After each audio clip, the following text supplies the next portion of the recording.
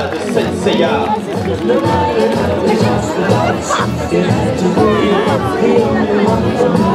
Ensuite, le cosplay, c'est quoi? Il y a beaucoup de types de cosplay.